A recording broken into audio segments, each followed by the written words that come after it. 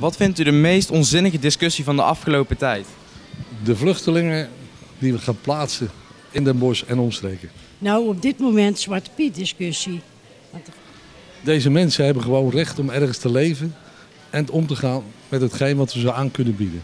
discussie die er gevoerd wordt over die zwarte pieten. echt nergens op slaan. Dat is een Nederlandse traditie.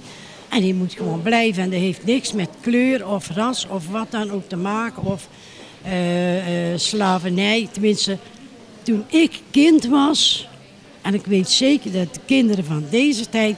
Toen ik kind was, toen. toen ja, Zwarte Piet was Zwarte Piet. En, eh, er is eigenlijk nooit een, een, een gedachte bij me opgekomen dat Zwarte Piet eh, racistisch of weet ik het, iets met slavernij te maken had. En de kinderen van tegenwoordig hebben denk ik datzelfde gevoel van, wat is dit met Zwarte Piet? Ik vind het nergens op lijken.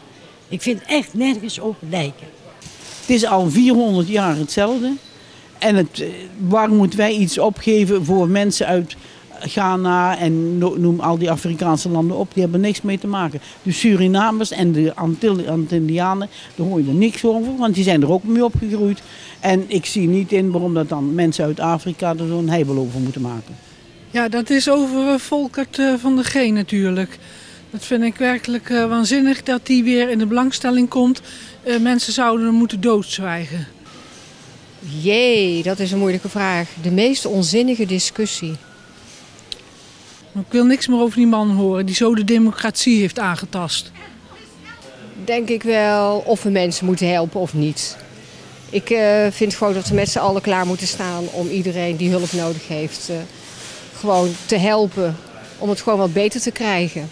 Dus het meest onzinnige is denk ik wel, eh, helpen we asielzoekers of niet op dit moment. Waarom niet? Kerstmis blijft er ook. En eh, dat is in principe ook commercieel en weet ik het. Maar waarom... Ja, ik, ik, ik kan er geen, eigenlijk geen zinnig antwoord op geven waarom Zwarte Piet weg moet. Alleen omdat hij zwart is.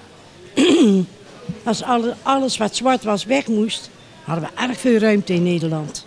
Toch, of niet?